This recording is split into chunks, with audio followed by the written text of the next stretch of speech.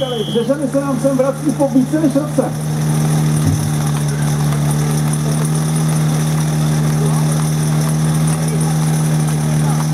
Na místa připrašte se. Pozor.